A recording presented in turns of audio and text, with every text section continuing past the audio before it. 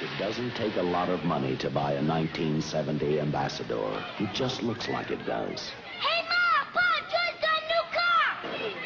Boy, Joe, that's terrific. Look Hey, how do you like this big shot? Couple of years out of college and he's buying expensive cars. Joey, you need such an expensive car. CPAs make money. Right, Joe? Hey, Mom, uh, it didn't cost so much. Hey!